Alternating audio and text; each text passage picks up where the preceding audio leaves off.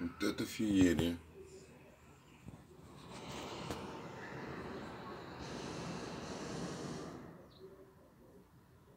И прям над домами, над крышей, над проводами. Воздушные шарики-то.